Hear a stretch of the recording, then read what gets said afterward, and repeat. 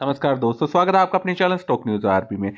देखिए, सबसे बड़ी खबर, अगर कोई मुझसे कहेगा दस साल की सबसे बड़ी खबर कोई है तो ये खबर एक्चुअली में भी बहुत कुछ मैटर करता है इस एक खबर के ऊपर, और इस स्टॉक के लिए तो बहुत इंपॉर्टेंट होने वाली है। सबको मालूम है, मैं क्यों कह रहा हूँ, देखिए दोस्तों, अगर कोई रिन्यूएबल एनर्जी की मार्केट में बात करता है, जो कि अभी से स्टॉक मार्केट में लिस्टेड है, उनकी बात करें तो अडानी ग्रीन एनर्जी आता है सबसे ऊपर, फिर आता है नाम आपका टाटा पावर का, जो कि सेकेंड बेस्ट लगा लीजिए बट कंटिन्यूसली ग्रोइंग है तो कभी भी अडानी ग्रीन को ओवरटेक कर सकता है। बट जो किस्से सामने आ रहे हैं अडानी ग्रीन के रिगार्डिंग और जो गिरावट के आंकड़े समझ में आ रहे हैं अडानी ग्रीन को तो भाई साहब ध्यान रखिएगा।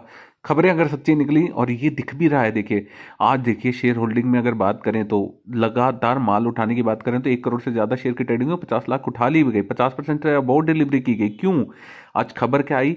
एक यूएस बेस्ड फर्म है हैंडनबर्ग जिसने कहा कि फ्रॉड कराया अडानी ने। अडानी ऑब्वियसली अडानी ने कहा कि नहीं नहीं, ऐसा कुछ नहीं है। 800 देखिए 800 के पी रेशियो पर ट्रेड कर रहा है अडानी ग्रीन एनर्जी। अब वहाँ कितने दिन सर्वाइव करेगा? तो वहाँ से पैसा अब निकलेगा।